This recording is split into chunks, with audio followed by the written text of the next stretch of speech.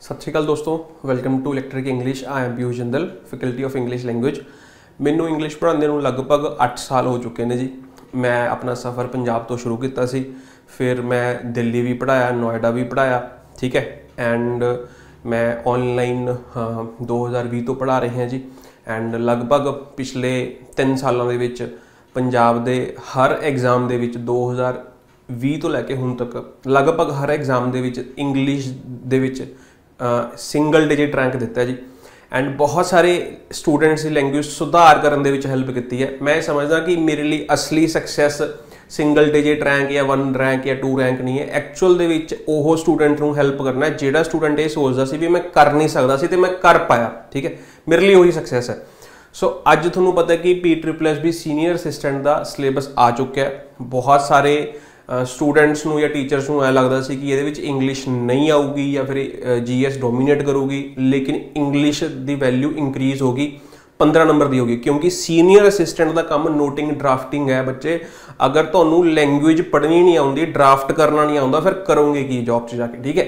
ਸੋ ਇਸ ਕਰਕੇ ਜਿਹਨੇ ਸਿਲੇਬਸ ਡਿਜ਼ਾਈਨ ਕੀਤਾ ਹੈ, ਅੱਛਾ ਸਿਲੇਬਸ ਡਿਜ਼ਾਈਨ ਕੀਤਾ ਹੈ, ਇੱਕ ਤਰਫਾ ਸਿਲੇਬਸ ਨਹੀਂ ਰੱਖਿਆ, ਇਹ ਬਹੁਤ ਵਧੀਆ ਗੱਲ ਹੈ ਤੇ ਆਉਣ ਵਾਲੇ ਸਾਰੇ ਬੀ ਗਰੁੱਪ ਦੇ ਐਗਜ਼ਾਮਸ ਦਾ ਸਿਲੇਬਸ ਇਹੀ ਰਹੂਗਾ ਕਾਮਨ ਰਹੂਗਾ, ਇੰਨੀ ਗੱਲ ਤਾਂ ਅੱਜ ਸ਼ੋਰ ਹੋ ਗਈ, ਠੀਕ ਹੈ?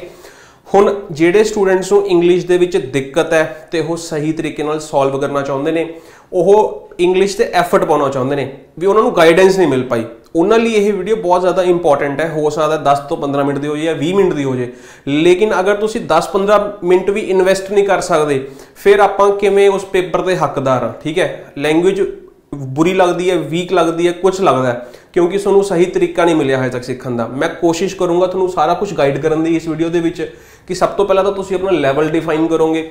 ਉਦੋਂ ਬਾਅਦ ਚ ਤੁਹਾਡੇ ਲੈਵਲ ਦੇ ਅਕੋਰਡਿੰਗ ਤੁਹਾਡੀ ਸਟ੍ਰੈਟਜੀ ਉਦੋਂ ਬਾਅਦ ਚ ਕਿੰਨਾ ਟਾਈਮ ਲੱਗੂਗਾ ਐਕਚੁਅਲ ਚ ਸਿੱਖਣ ਦੇ ਲਈ? ਫਿਰ ਬੈਸਟ ਅਪਰੋਚ ਕੀ ਹੋਣੀ ਚਾਹੀਦੀ ਹੈ? ਲੈਂਗੁਏਜ ਦੇ ਵਿੱਚ ਐਮਸੀਕਿਊ ਨੂੰ ਸੋਲਵ ਕਰਨ ਦੀ। ਇੰਗਲਿਸ਼ ਲੈਂਗੁਏਜ ਦੇ ਵਿੱਚ ਐਮਸੀਕਿਊ ਨੂੰ ਸੋਲਵ ਕਰਨਾ ਅਪਰੋਚ ਕੀ ਹੋਣੀ ਚਾਹੀਦੀ ਹੈ ਤੁਹਾਡੀ? ਐਂਡ ਫਿਰ ਲਾਸਟ ਤੇ ਪ੍ਰੈਕਟਿਸ ਸੋਰਸਸ ਕੀ ਕੀ ਹੋ ਸਕਦੇ ਨੇ? ਫ੍ਰੀ ਪ੍ਰੈਕਟਿਸ ਸੋਰਸਸ ਜਾਂ ਜਿਹੜੇ ਵੀ ਪ੍ਰੈਕਟਿਸ ਸੋਰਸਸ ਹੋਣਗੇ? ਫਿਰ ਉਦੋਂ ਬਾਅਦ ਮੈਂ last but not the least ਮੈਂ ਗੱਲ ਕਰੂੰਗਾ। ਮੰਜ਼ਿਲ 2.0 ਜਿਹੜਾ ਸਾਡਾ ਇੰਗਲਿਸ਼ ਦਾ ਮਾਸਟਰ ਬੈਚ ਹੈ, ਪੰਜਾਬ ਦੇ ਲਈ ਵਨ ਸਟਾਪ ਸੋਲੂਸ਼ਨ ਹੈ। ਉਦੋਂ ਉੱਪਰ ਕੁਝ ਵੀ ਨਹੀਂ ਹੈ, ਠੀਕ ਹੈ, ਸਾਡੇ ਕੋਲੇ। ਹੋ ਸਕਦਾ ਕਿ ਹੋਰ ਕਿਤੇ ਤੁਹਾਨੂੰ ਕੁਝ ਨਾ ਕੁਝ ਮਿਲ ਜਾਏ, ਲੇਕਿਨ ਸਾਡੇ ਕੋਲੇ ਤੋਂ ਉੱਪਰ ਕੁਝ ਵੀ ਨਹੀਂ। ਸਭ ਤੋਂ ਪਹਿਲਾਂ ਬੱਚੇ ਮੈਂ ਇਹ ਸਮਝਦਾ ਕਿ ਸਿਲੇਬਸ ਦੀ ਅਗਰ ਆਪਾਂ ਗੱਲ ਕਰੀਏ, ਤਾਂ ਸਿਲੇਬਸ ਦੇ ਵਿੱਚ ਤੁਸੀਂ ਦੇਖੋਗੇ ਕਿ ਥਿਸ ਇਜ਼ ਦਾ ਸਿਲੇਬਸ ਹੈ ਨਾ? This is the tentative syllabus ਤਾਂ ਇਹਦੇ ਵਿੱਚ ਇੱਕ ਬੇਸਿਕ ਗ੍ਰਾਮਰ ਹੈ ਸਬਜੈਕਟ ਵਰਬ ਐਗਰੀਮੈਂਟ ਹੈ ਐਡਜੈਕਟਿਵ ਐਂਡ ਵਰਬ ਹੈ ਸਿਨੋਨੀਮ ਐਂਟੋਨੀਮ ਹੈ ਵਨ ਵਰਡ ਸਬਸਟੀਟਿਊਸ਼ਨ ਹੈ ਫਿਲਿੰਗ ਦੀ ਬਲੈਂਕਸ ਨੇ ਕਰੈਕਸ਼ਨ ਇਹ ਜੀ ਹੈਗੀ ਹੈ ਵੋਕੈਬ ਸਾਰੀ, ਇਹ ਗ੍ਰਾਮਰ ਹੈ, ਇਹ ਵੀ ਵੋਕੈਬ ਹੈ। ਇਹ ਵੋਕੈਬ ਹੈ ਇਹ ਵੀ grammar grammar grammar grammar grammar grammar grammar grammar grammar grammar ਠੀਕ ਹੈ ਤਾਂ ਆ ਵੋਕੈਬ ਆ ਵਾਲਾ ਪਾਰਟ ਆ ਵਾਲਾ ਪਾਰਟ ਵੋਕੈਬ ਹੈ ਬਾਕੀ ਸਾਰੀ ਕੀ ਹੈ ਗ੍ਰਾਮਰ ਹੈ ਹੁਣ ਇਹਦੇ ਵਿੱਚੋਂ ਧਿਆਨ ਨਾਲ ਸਮਝਣ ਦੀ ਕੋਸ਼ਿਸ਼ ਕਰਨਾ ਕਿ 15 ਦੇ ਵਿੱਚੋਂ ਅਗਰ ਤੁਸੀਂ ਸੀਨੀਅਰ ਅਸਿਸਟੈਂਟ ਲੱਗਣਾ ਹੈ ਦੇਖੋ ਤਾਂ ਮੈਂ ਇਹ ਸਮਝਦਾ ਕਿ ਤੁਸੀਂ minimum to minimum bare minimum ਇਹ 'ਚੋਂ 10 ਨੰਬਰ ਲੈ ਕੇ ਚੱਲੋ, ਤਾਂ ਤੁਸੀਂ ਸੀਨੀਅਰ ਅਸਿਸਟੈਂਟ ਲੱਗ ਪਾਓਗੇ, ਕਿਉਂਕਿ ਪੋਸਟਾਂ ਬਹੁਤ ਜ਼ਿਆਦਾ ਘੱਟ ਨੇ। ਤੇ ਅਗਰ ਤੁਸੀਂ ਸੋਚੋਗੇ ਵੀ ਮੈਂ ਇਹ ਚੋਂ 4-5 ਨੰਬਰ ਲੈ ਕੇ ਮੈਂ ਸਿਲੈਕਟ ਹੋ ਜਾਊਂਗਾ ਸਿਲੈਕਸ਼ਨ ਲਿਸਟ ਦੇ ਵਿੱਚ ਆ ਜਾਊਂਗਾ, ਬਹੁਤ ਵੱਡੀ ਗਲਤੀ ਹੋਊਗੀ, ਉਹ ਹੋ ਸਕਦਾ ਕੋਈ ਕ੍ਰਿਸ਼ਮਾ ਹੀ ਹੋ ਜਾਏ, ਹਨਾ? ਲੇਕਿਨ ਹੋ, ਫਿਰ ਜਦ ਤੁਸੀਂ 4-5 ਨੰਬਰ ਲਓਗੇ ਜੋ 7-8 ਨੰਬਰ ਲੈ ਜਾਓਗੇ, ਫਿਰ ਉਹੀ ਹੈ 1-1 2-2 ਨੰਬਰ ਤੇ ਰਹਿ ਲਓਗੇ। ਇੱਕ ਨੰਬਰ ਤੇ ਰਹਿ ਗਿਆ, ਅੱਧੇ ਨੰਬਰ ਤੇ ਰਹਿ ਗਿਆ, ਦੋ ਨੰਬਰ ਤੇ ਰਹਿ ਗਿਆ। ਉਹ ਨੰਬਰ ਜਿਹੜੇ ਹੈਗੇ ਨੇ, ਉਹ ਕਿੱਥੋਂ ਛੁੱਟਣਗੇ? ਇੰਗਲਿਸ਼ ਤੋਂ ਛੁੱਟਣਗੇ। ਤਾਂ ਇਹੀ ਇੱਕ ਸਿਲੈਕਸ਼ਨ ਫੈਕਟਰ ਹੈ, ਇਹੀ ਗੇਮ ਚੇਂਜਰ ਰਹੂਗਾ। ਮੈਂ ਤੁਹਾਨੂੰ ਹਜੇ ਵੀ ਦੱਸ ਰਿਹਾ, ਅਗਰ ਤੁਸੀਂ ਇਸ ਤੇ ਕੰਮ ਨਹੀਂ ਕਰੋਗੇ ਤਾਂ ਦਿੱਕਤ ਆਉ ਹੁਣ ਮੈਂ ਸਭ ਤੋਂ ਪਹਿਲੀ ਗੱਲ ਤਾਂ ਮੈਂ ਤੁਹਾਨੂੰ ਇਹ ਦੱਸ ਦੇਣਾ ਦੋ ਤਰੀਕੇ ਦੇ ਸਟੂਡੈਂਟਸ ਨੇ, ਠੀਕ ਹੈ?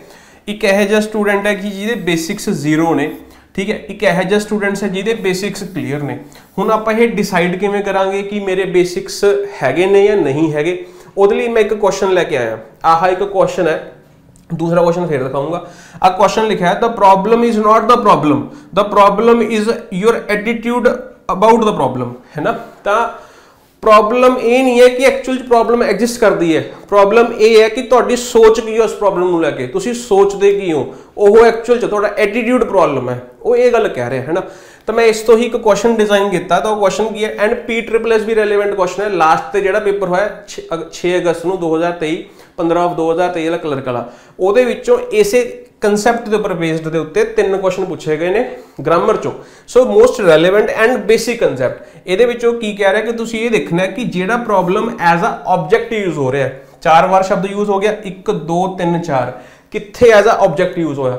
ਅਗਰ ਤੁਸੀਂ ਇਹਨੂੰ ਸਹੀ ਤਰੀਕੇ ਨਾਲ ਦੱਸ ਪਾਏ, ਜਿਵੇਂ ਤੁਸੀਂ ਕਹਤਾ ਸਪੋਜ਼ ਕਰਤਾ ਕਿ ਇਹ ਆਪਸ਼ਨ ਹੈ, ਠੀਕ ਹੈ? ਤੁਸੀਂ ਕਿਹਾ ਇਹ ਆਪਸ਼ਨ ਹੈ। ਇਹ ਆਪਸ਼ਨ ਹੈਗਾ, ਲੇਕਿਨ ਬਾਕੀ ਤਿੰਨ ਕਿਉਂ ਗਲਤ ਨੇ? ਅਗਰ ਤੁਸੀਂ ਇਹਦਾ ਜਵਾਬ ਤੁਹਾਡੇ ਕੋਲ ਹੈਗਾ, ਤਾਂ ਇਹਦਾ ਮਤਲਬ ਤੁਹਾਡੇ ਬੇਸਿਕਸ ਕਲੀਅਰ ਨੇ। ਕਿਉਂਕਿ ਇਹਦਾ ਮਤਲਬ ਤੁਸੀਂ ਸਾਰੇ ਸੈਂਟੈਂਸ ਨੂੰ ਫਰੋਲਤਾ। ਤੁਸੀਂ ਸੈਂਟੈਂਸ ਦੀ ਨੀਂਹ ਪੱਥਰ ਤੱਕ ਗਏ ਵੀ ਇਹ ਸਬਜੈਕਟ ਸੀ, ਇਹ ਕੰਪਲੀਮੈਂਟ ਸੀ, ਇਹ ਕੋਈ ਵਰਬ ਸੀ, ਇਹ ਕੋਈ ਆਬਜੈਕਟ ਸੀ, ਇਹ ਕੀ ਸੀ? ਅਗਰ ਤੁਸੀਂ ਇੱਕ ਆਪਸ਼ਨ ਨੂੰ ਟਿਕ ਕਰਤਾ ਤੇ ਬਾਕੀ ਇਹ ਨਹੀਂ ਦੱਸ ਸਕਦੇ ਵੀ ਕਿਉਂ ਗਲਤ ਨੇ, ਫਿਰ ਉਹ ਤੁਹਾਡਾ ਤੁੱਕਾ ਸੀ ਜਾਂ ਫੀਲਿੰਗ ਸੀ, ਇਹਦਾ ਮਤਲਬ ਬੇਸਿਕਸ ਕਲੀਅਰ ਨਹੀਂ ਹੈਗੇ, ਤੁੱਕਾ ਚੱਲ ਗਿਆ ਬਸ। ਤੁੱਕਾ ਅੱਜ ਚੱਲ ਗਿਆ, ਲੇਕਿਨ ਤੁੱਕਾ ਪੇਪਰ 'ਚ ਚੱਲੂਗਾ, ਨਹੀਂ ਚੱਲੂਗਾ, ਇਹਦੇ ਬਾਰੇ ਕੋਈ ਗਾਰੰਟੀ ਨਹੀਂ ਕੁਝ ਨਹੀਂ। ਸੋ ਕਹਿਣ ਦਾ ਮਤਲਬ ਇਹ ਹੈ ਕਿ ਤੁਸੀਂ ਇਹ ਦੇਖਣਾ ਕਿ ਕੀ ਹੈ। ਮੈਂ ਤੁਹਾਨੂੰ ਆਨਸਰ ਦੱਸ ਦੇਣਾ ਇਹਦਾ ਆਨਸਰ ਹੈਗਾ ਡੀ ਹੁਣ ਤੁਸੀਂ ਇਹ ਦੇਖਣਾ ਵੀ ਇਹ ਬਾਕੀ ਤਿੰਨ ਕਿਉਂ ਗਲਤ ਨੇ ਤੇ ਉਹ ਤਾਂ ਕਿਉਂ ਸਹੀ ਹੈ? ਉਹ ਤੁਹਾਨੂੰ ਪਤਾ ਹੀ ਨਹੀਂ ਪਤਾ। ਅਗਰ ਤੁਹਾਨੂੰ ਇਹ ਚੀਜ਼ ਪਤਾ ਤੁਹਾਡੇ ਬੇਸਿਕਸ ਕਲੀਅਰ ਨੇ ਬੱਚੇ। ਇਦੋਂ ਵੱਧ ਬੇਸਿਕਸ ਨਹੀਂ ਹੋ ਸਕਦੇ। ਥੋੜੇ ਜਿਹੇ ਬੇਸਿਕਸ ਥੋੜੇ ਜਿਹੇ ਵਧੀਆ ਲੈਵਲ ਦੀ ਗੱਲ ਕਰਾਂ। ਅਗਰ paper P triple S B ਦਾ ਤਾਂ ਮੈਂ ਥੋੜਾ ਜਿਹਾ ਵਧੀਆ ਲੈਵਲ ਵੀ ਲੈ ਕੇ ਚੱਲੂੰਗਾ। ਇਹ ਜਮੀ ਬੇਸਿਕਸ ਜ਼ੀਰੋ ਥੋੜਾ ਜਿਹਾ ਵਧੀਆ ਲੈਵਲ ਇਹਦੇ ਵਿੱਚ ਕੀ ਕਹਿ ਰਿਹਾ ਕਿ ਫਾਸਟ ਸ਼ਬਦ ਨੂੰ ਐਜ਼ ਅ ਨਾਉਨ ਕਿੱਥੇ ਪ੍ਰਯੋਗ ਕੀਤਾ ਗਿਆ? ਚਾਰ ਸੈਂਟੈਂਸਿਸ ਦਿੱਤੇ ਹੋਏ ਨੇ। ਇਹਦੀ ਵੀਡੀਓ ਡਿਟੇਲਡ ਐਕਸਪਲੇਨੇਸ਼ਨ ਵੀ ਦਿੱਤੀ ਹੋਈ ਹੈ ਉਹਦਾ ਲਿੰਕ ਮੈਂ ਡਿਸਕ੍ਰਿਪਸ਼ਨ 'ਚ ਦੇ ਦੂੰਗਾ। ਉਹ ਵੀਡੀਓ ਨੂੰ ਤੁਸੀਂ ਦੇਖ ਲਓ। ਤੁਹਾਨੂੰ ਮੇਰੇ ਪੜਾਉਣ ਦਾ ਤਰੀਕਾ ਸਮਝ ਆ ਜਾਊਗਾ। ਠੀਕ ਹੈ? ਇਹ ਜਿਹਾ ਪੇਪਰ ਹੈ। ਤਾਂ ਹੁਣ ਇਹਦੇ ਵਿੱਚ ਵੀ ਕੀ ਇਹਦਾ ਆਨਸਰ ਉੱਥੇ ਦਿੱਤਾ ਹੋਇਆ।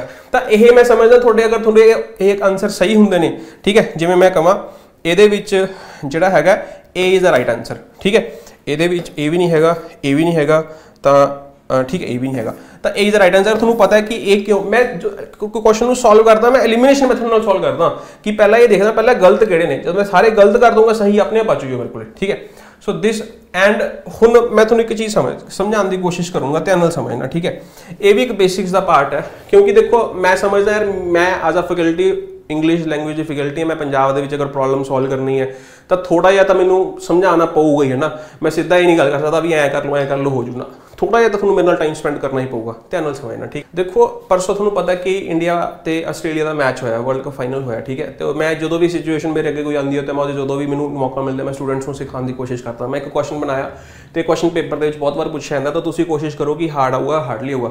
ਇਹ ਕਿਉਂ ਕਰ ਰਹੇ ਹੋ? ਕਿਉਂਕਿ ਤੁਸੀਂ ਆਪਣੇ ਲੈਵਲਸ ਨੂੰ ਐਨਾਲਿਸਿਸ ਕਰਨਾ ਹੈ ਨਾ ਕਿ ਮੈਂ ਕਿੱਥੇ ਬਿਲੋਂਗ ਕਰਦਾ ਹਾਂ ਕਰਦੀ ਹਾਂ, ਮੈਂ ਅਕੋਰਡਿੰਗਲੀ ਫਿਰ ਅੱਗੇ ਜਾ ਕੇ ਕਿਵੇਂ ਕਿਵੇਂ ਸਰ ਦੱਸਾਂਗੇ, ਉਹ ਚੀਜ਼ਾਂ ਮੈਂ ਅਪਣਾ ਲੂੰਗਾ ਠੀਕ ਹੈ? ਅਪਣਾ ਲੂੰਗੀ ਸਭ ਤੋਂ ਪਹਿਲਾਂ ਤੁਸੀਂ ਇਹਦੇ ਨਾਲ ਦੇਖੋਗੇ ਉਹਨੇ ਲਿਖਿਆ ਹੈ it is a blank fought match maximum students ਦਾ ਜਿਹੜਾ ਆਨਸਰ ਆਇਆ, ਉਹ ਆਨਸਰ ਆਇਆ ਕੀ ਆਇਆ ਹਾਰਡਲੀ ਠੀਕ ਹੈ?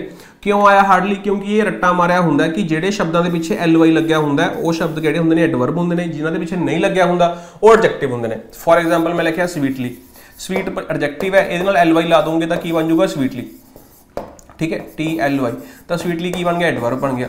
ਤਾਂ ਉਹਨਾਂ ਨੇ ਕਿਹਾ ਕਿ ਇਹ ਐਡਵਰਬ ਆਊਗਾ, ਤਾਂ ਐਡਵਰਬ ਆਊਗਾ ਤਾਂ ਬੀ ਲਗਾਤਾ, ਠੀਕ ਹੈ? ਲੇਕਿਨ ਮੈਂ ਬਹੁਤ ਵਾਰੀ ਕਿਹਾ ਕਿ ਆਪਾਂ ਨੂੰ ਸ਼ਬਦਾਂ ਦਾ ਬਿਹੇਵੀਅਰ ਸਮਝਣਾ ਚਾਹੀਦਾ, ਠੀਕ ਹੈ? ਹੁਣ ਬਈ ਰਿਸਪੈਕਟ ਦਾ ਮਤਲਬ ਕੀ ਹੈ? ਰਿਸਪੈਕਟ ਦਾ ਮਤਲਬ ਕੀ ਹੈ ਇੱਜ਼ਤ? ਰਿਸਪੈਕਟ ਦਾ ਮਤਲਬ ਕੀ ਹੈ ਸ਼ਰਧਾਂਜਲੀ ਦੇਣਾ? ਆਪਾਂ ਲਿਖਿਆ ਪ੍ਰੋਸੀਡ ਪ੍ਰੋਸੀਡ ਦਾ ਮਤਲਬ ਕੀ ਅੱਗੇ ਵਧਣਾ? ਪ੍ਰੋਸੀਡਸ ਦਾ ਮਤਲਬ ਕੀ ਹੈ ਪ੍ਰੋਫਿਟ ਤੁਸੀਂ ਲਿਖਿਆ ਔਡ ਔਡ ਕੀ ਹੈ? ਔਡ ਦਾ ਮਤਲਬ ਜਿਹੜੀ ਚੀਜ਼ ਰੈਗੂਲਰ ਨਹੀਂ ਹੈਗੀ ਆਰਡੀਨਰੀ ਨਹੀਂ ਹੈਗੀ ਹੈਨਾ ਔਡਸ ਦਾ ਮਤਲਬ ਕੀ ਹੈ ਪੋਸਿਬਿਲਿਟੀ ਹੈ ਪ੍ਰੋਬੇਬਿਲਿਟੀ ਤਾਂ ਬਈ ਸ਼ਬਦ ਬਦਲ ਜਾਂਦੇ ਨੇ ਸ਼ਬਦ ਦਾ मीनिंग ਆਪਾਂ ਨੂੰ ਬਿਹੇਵੀਅਰ ਸਮਝਣ ਦੀ ਲੋੜ ਹੈ ਆਪਾਂ ਅਗਰ ਇੱਕ ਸ਼ਬਦ ਯਾਦ ਕਰਕੇ ਉਹਨੂੰ ਹਰ ਸ਼ਬਦ ਨਾਲ ਰਿਲੇਟ ਕਰ ਦਾਂਗੇ ਗਲਤ ਹੋ ਜਾਊਗਾ ਜਿਹੜਾ ਹਾਰਡ ਸ਼ਬਦ ਹੈ ਇਹ ਐਡਜੈਕਟਿਵ ਵੀ ਹੁੰਦਾ ਐਡਵਰਬ ਵੀ ਹੁੰਦਾ ਜਿਵੇਂ ਤੁਸੀਂ ਲਿਖਿਆ ਵਰਕ ਹਾਰਡ ਤਾਂ ਵਰਕ ਹਾਰਡ ਲਿਖਦੇ ਹੋ ਉੱਥੇ ਹਾਰਡ ਦਾ ਕੀ ਐਡਜੈਕਟਿਵ ਹੈ ਉੱਥੇ ਐਡਵਰਬ ਹੈ ਜੋ ਵਰਕ ਨੂੰ ਮੋਡੀਫਾਈ ਕਰ ਰਿਹਾ ਸੋ ਬਈ ਵਰਕ ਹਾਰਡ ਵੀ ਹੁੰਦਾ ਹਾਰਡ ਐਡਵਰਬ ਵੀ ਹੁੰਦਾ ਐਡਜੈਕਟਿਵ ਵੀ ਹੁੰਦਾ ਇਹ ਵੀ ਇਹ ਐਡਵਰਬ ਹੁੰਦਾ ਲੇਕਿਨ ਜਦੋਂ ਇਹ ਐਡਵਰਬ ਹੁੰਦਾ ਤਾਂ ਇਹਦਾ मीनिंग ਡਿਫਰੈਂਟ ਹੁੰਦਾ ਜਦੋਂ ਹਾਰਡਲੀ ਐਡਵਰਬ ਹੁੰਦਾ ਉਹਦਾ मीनिंग ਦੋਵਾਂ ਦਾ मीनिंग ਡਿਫਰੈਂਟ ਹੈ ਹੁਣ ਇਹ ਤੁਹਾਨੂੰ ਚੀਜ਼ ਗ੍ਰਾਮਰ ਨੇ ਦੱਸਤੀ ਲੇਕਿਨ ਉਰੇ ਕੀ ਯੂਜ਼ ਹੋਊਗਾ ਉਹ ਤਾਂ ਦਾ मीनिंग ਡਿਸਾਈਡ ਕਰੂਗਾ ਨਾ ਯਾਰ ਤਾਂ ਬੇਸਿਕਸ ਦਾ ਮਤਲਬ ਹੁੰਦਾ ਲੈਂਗੁਏਜ ਦੇ मीनिंग ਨੂੰ ਸਮਝਣਾ ਹੈ ਨਾ ਤਾਂ ਉਰੇ ਆਪਾਂ ਲਿਖਿਆ ਕਿ ਜੋ ਤੁਸੀਂ ਲਿਖਿਆ ਵਰਕ ਹਾਰਡ ਤਾਂ ਹਾਰਡ ਦਾ ਮਤਲਬ ਕੀ ਹੈ ਕਿ ਐਫਰਟਸ ਪਾਉਣੇ ਠੀਕ ਹੈ ਕੋਈ ਚੀਜ਼ ਐਫਰਟਸ ਨਾਲ ਕਰਨੀ ਪੁਟਿੰਗ ਇਨ ਐਫਰਟਸ ਤੇ ਹਾਰਡਲੀ ਦਾ ਮਤਲਬ ਕੀ ਹੁੰਦਾ ਆਲਮੋਸਟ ਨਥਿੰਗ ਆਲਮੋਸਟ ਨੋ ਜਿਵੇਂ ਤੁਸੀਂ ਕਿਹਾ ਆਈ ਹਾਰਡਲੀ ਨੋ ਯੂ ਹੈ ਨਾ? ਤਾਂ ਮੈਂ ਤੈਨੂੰ ਬਹੁਤ ਘੱਟ ਮੁਸ਼ਕਿਲ ਨਾਲ ਹੀ ਜਾਣਦਾ, ਹੈ ਨਾ?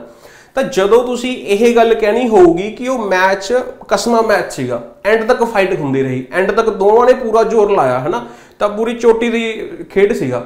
ਬਹੁਤ ਇੰਜ ਅਸੀਂ ਇੰਜੋਏ ਕੀਤਾ। ਤਾਂ ਇਹਦਾ ਮਤਲਬ ਕੀ ਹੈ? ਉਸ ਮੈਚ ਦੇ ਵਿੱਚ ਐਫਰਟਸ ਲੱਗੇ ਹੋਏ ਸੀਗੇ। ਅਗਰ ਐਫਰਟਸ ਲੱਗੇ ਹੋਏ ਸੀ ਉੱਥੇ ਫਿਰ ਆਪਾਂ ਕੀ ਯੂਜ਼ ਕਰ ਲਾਂਗੇ? ਹਾਰਡ ਲੇਕਿਨ ਅਗਰ ਆਪਾਂ ਕਹਾਂਗੇ ਕਿ ਮੈਚ ਇੱਕ ਤਰਫਾ ਸੀਗਾ, ਉਹ ਤਾਂ ਪਤਾ ਹੀ ਲੱਗ ਗਿਆ ਵੀ ਪਹਿਲੇ ਪਹਿਲੇ 30 ਓਵਰਾਂ ਦੇ ਵਿੱਚ ਉਹਨਾਂ ਨੇ ਤਾਂ 75% ਰਨ ਬਣਾ ਲਿਆ, ਆਪਾਂ ਨੂੰ ਪਤਾ ਲੱਗ ਗਿਆ ਕਿ ਹਾਂ, ਇੱਕ ਤਰਫਾ ਮੈਚ ਹੈ, ਹਨਾ? ਨਾ ਪਾਰਟਨਰਸ਼ਿਪ ਟੁੱਟੀ ਉਹਦੀ ਉਹਦੀ ਤਾਂ ਫਿਰ ਆਪਾਂ ਨੂੰ ਪਤਾ ਲੱਗ ਗਿਆ ਕਿ ਮੈਚ ਇੰਜੋਏਬਲ ਨਹੀਂ ਹੈਗਾ ਐਫਰਟਸ ਨਹੀਂ ਪੈ ਰਹੇ, ਇੱਕ ਟੀਮ ਇੱਕ ਪਾਸੋਂ ਜਾਂ ਦੋਵੇਂ ਟੀਮ ਪਾਸੋਂ, ਜਿਵੇਂ ਵੀ ਆਪਾਂ ਕਹਿ ਸਕਦੇ ਹਾਂ ਐਫਰਟਸ ਨਹੀਂ ਪਏ, ਹਨਾ? ਇੰਟਰਸਟਿੰਗ ਨਹੀਂ ਹੈ। ਫਿਰ ਉੱਥੇ ਕੀ ਆ ਜਾਊਗਾ? ਹਾਰਡਲੀ ਆ ਜਾਊਗਾ। ਠੀਕ ਹੈ? ਤਾਂ ਤੁਸੀਂ ਕਹੋਗੇ, ਸਰ, ਦੋਵੇਂ ਕਿਵੇਂ ਸਹੀ ਹੋ ਸਕਦੇ ਨੇ? ਪੇਪਰ 'ਚ ਪੇਪਰ 'ਚ ਇਹੋ ਜਿਹਾ ਕੁਐਸਚਨ ਨਹੀਂ ਆਊਗਾ, ਲੇਕਿਨ ਤੁਹਾਡਾ ਪਰਸਪੈਕਟਿਵ ਤਾਂ ਵੱਡਾ ਹੋਣਾ ਚਾਹੀਦਾ ਨਾ ਸੈਂਟੈਂਸ ਨੂੰ ਲੈ ਕੇ। ਵੀ ਯਾਰ, ਉੱਥੇ ਅਗਰ ਆ ਕਵਾਂਗੇ ਤਾਂ ਮੀਨਿੰਗ ਆਊਗਾ, ਤਾਂ ਕਵਾਂਗੇ ਆ ਮੀਨਿੰਗ ਆਊ। ਪੇਪਰ 'ਚ ਆ ਸੈਂਟੈਂਸ ਆਊਗਾ। ਪੇਪਰ 'ਚ ਉਹਨੇ ਕਿਹਾ it is a blank fought match we enjoyed till end ਅਗਰ ਉਹ ਕਹਿ ਰਿਹਾ ਕਿ ਅਸੀਂ ਐਂਡ ਤੱਕ ਇੰਜੋਏ ਕੀਤਾ, ਤਾਂ ਇਹਦਾ ਮਤਲਬ ਮੈਚ ਚੋਟੀ ਦਾ ਹੈਗਾ ਸੀ ਕਿ ਨਹੀਂ ਹੈਗਾ ਸੀ? ਦੋਵਾਂ ਟੀਮਾਂ ਦਾ ਪੂਰਾ ਜ਼ੋਰ ਲੱਗਿਆ ਕਿ ਨਹੀਂ ਲੱਗਿਆ ਹੋਇਆ ਸੀ? ਇਹ ਸਿਚੁਏਸ਼ਨ ਨੇ ਦੱਸਿਆ, ਇਹ ਮੀਨਿੰਗ ਨੇ ਦੱਸਿਆ। ਗ੍ਰਾਮਰ ਨਹੀਂ ਕਹਿ ਰਹੀ ਗ੍ਰਾਮਰ ਤਾਂ ਕਹਿੰਦੀ ਦੋਵੇਂ ਐਡਵਰਬ ਨੇ, ਦੋਵੇਂ ਲਾ ਦਿਓ।